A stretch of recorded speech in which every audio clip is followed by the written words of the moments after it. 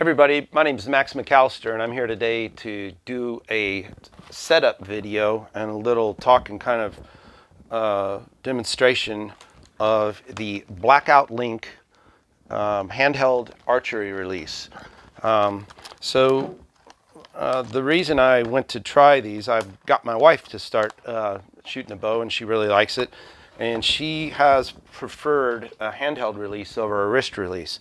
So I've wanted to get a couple of uh, handheld releases to try. Uh, these seem to be nice. This uh, brand is the uh, Bass Pro Shops and Cabela's branded uh, house product. Um, it's an aluminum release, anodized, and its its function is quite simple. Um, if you want to come a little closer, uh, that's your catch that grabs your D loop on your on your bowstring. When you close the trigger, it latches onto the, your string, and then you can draw and release your um, arrow, and that's how simple that is. Now, uh, but what I wanted to talk to you about was uh, setting it up and adjusting it. Um, it comes packaged as such.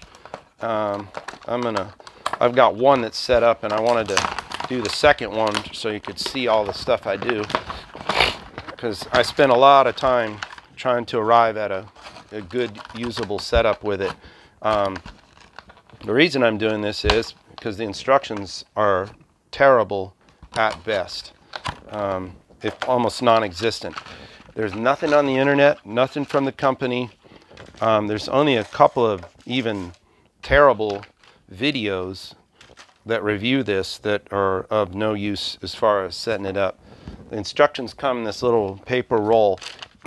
um, it's just this one page and there's, you know, it really, uh, the information contained on it is not um, of any particular use um, as far as setting it up.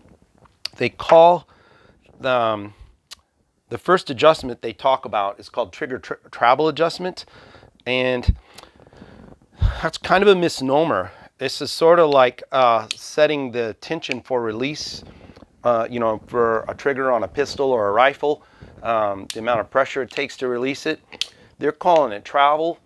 Um, it is sort of related to that, but what it really does is affects how much pressure it takes to, to release that, uh, make that um, trigger release. So that is adjusted with a 50 thousandths Allen key. It is very tiny. You'll have to have a, a, very complete set of Allen keys to have one that small. But uh, it's located here on the side of the main body of it, kind of at an angle. now, they supply it with, with nothing uh, to really lock it in place. And uh, so I apply a little blue Loctite to this. And now, well, actually, this one did have a little something on it. The first one I set up had nothing. This one, they did put a little locking agent on it. All right, so we're going to put some blue Loctite.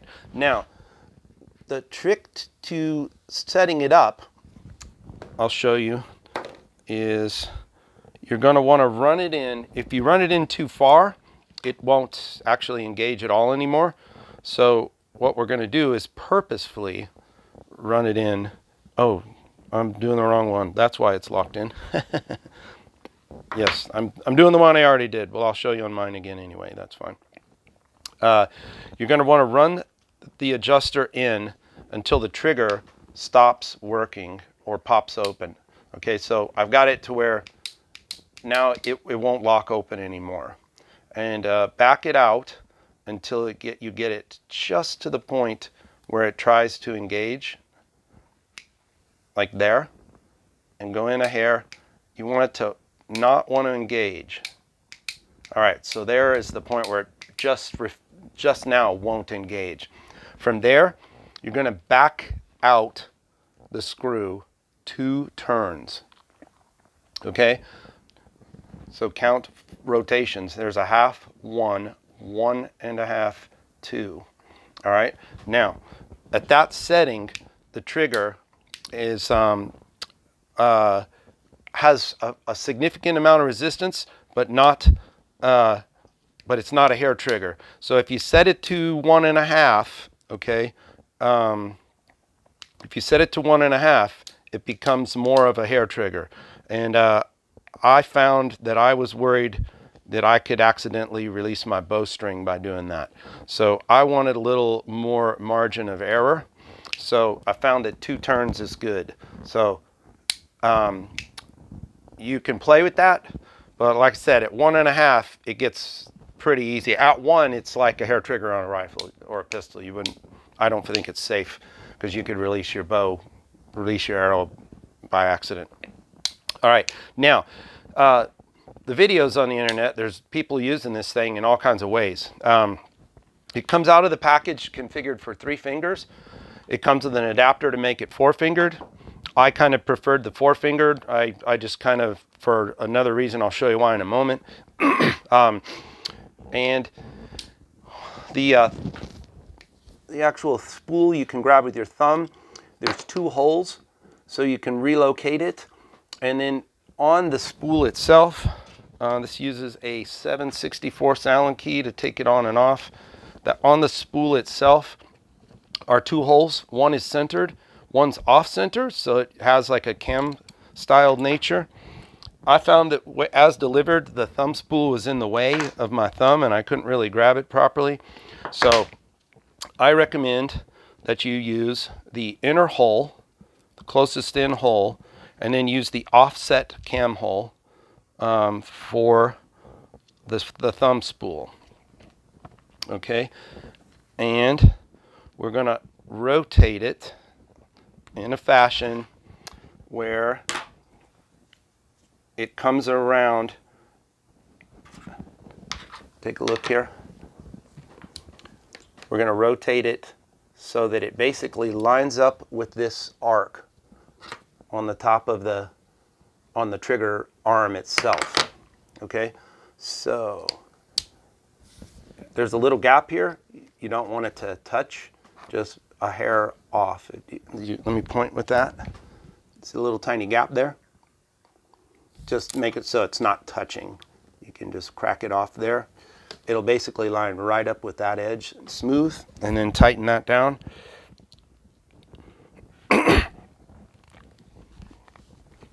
All right.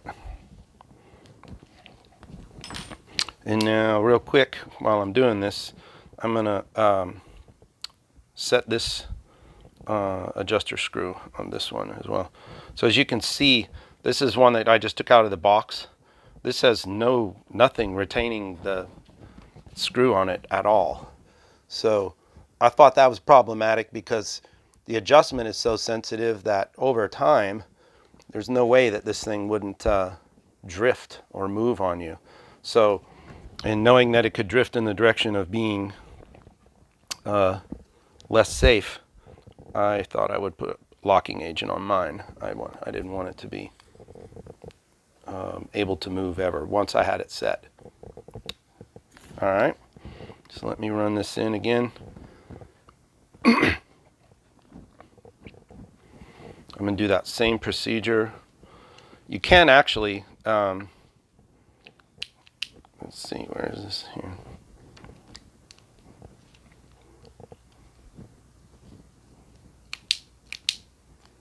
Let's find where it wants to engage. So there you go. Another way of approaching it is to have it closed and just turn it in until it just clicks. It's going to get you the same amount of closeness. So we're going to go a half turn, one turn, one and a half, two. And let's see if that feels the same. It does. Here's two. Yeah. All right, now, as far as uh, changing out the third and fourth finger, um, uh, in the bag, there's kind of some glue. They glue it in the package, so you'll need some sort of um, contact cleaner or alcohol to get the glue off from where they glued it in the package. Um, the uh, third finger comes out using a 1 16th Allen key and you will loosen that screw up and there's a pin that falls out one way. It goes out one side. You can poke it this or turn it upside down. It'll fall out. Um, the uh, fourth finger, they don't thread the screw in for you. I'm not sure why they didn't do that, but they didn't. So you'll run the screw in until you kind of see it coming right there. You can kind of see it coming through. Back that up. This you'll need to reuse the screw that you took out of the third finger. So the fourth finger has two screws because it has a sweep adjustment to it. You can adjust its angle. Um, I preferred it um, all the way forward um, in a level in line and I'll show you why when I show you how I found it was best to draw. So to get it um, into that position, you'll use this, um, the screw that's externally visible, and you'll tighten that one all the way down, and that locks this forward. It can sweep back this way if you wanted your finger backwards, but to me that again didn't make any sense why you would do that uh, because then your finger it's just like a rest instead of something to actually hold. Now but so as far as gripping and using this uh, again no instructions. You'd say well it should be pretty obvious but it's not.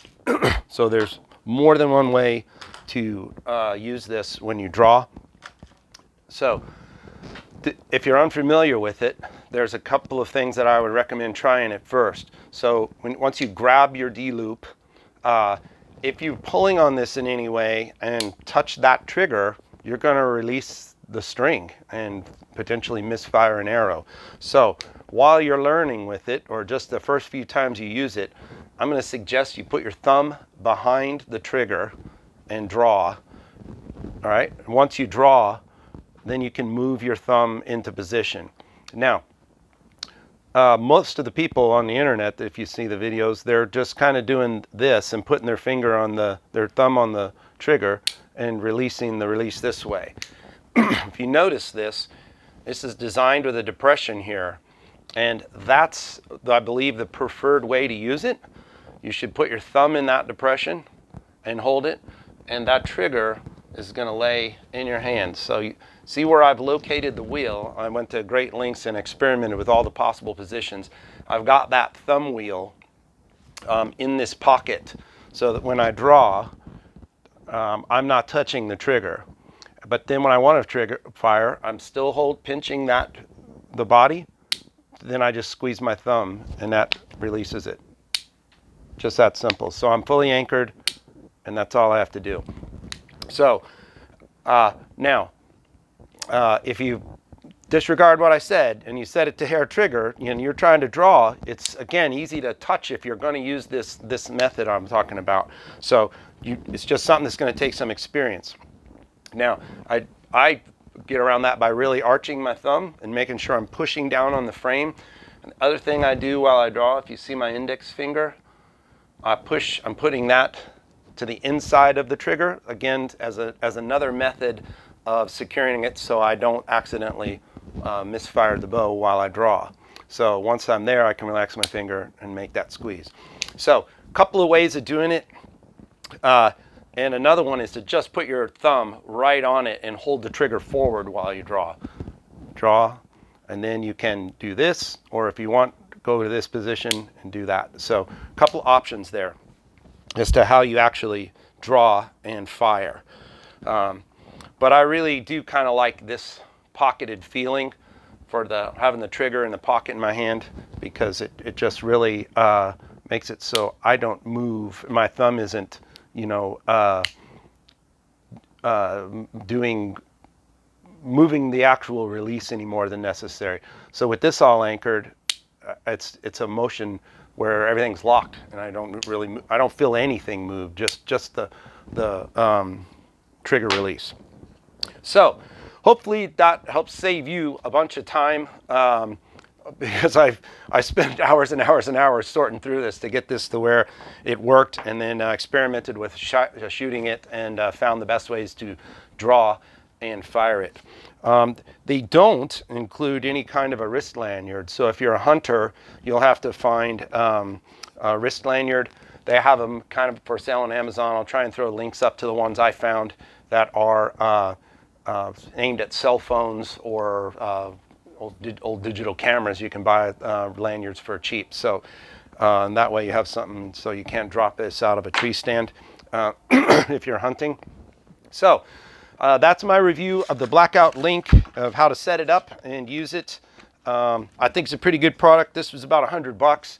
Um, I know you can spend a fortune on it, but this seems quite um, robust, reliable, and once you get it set up, it seems to be a really nice release. So my name's Max. Thanks for watching, um, and I'll keep an eye out on my channel for more cool content. I'll be back soon.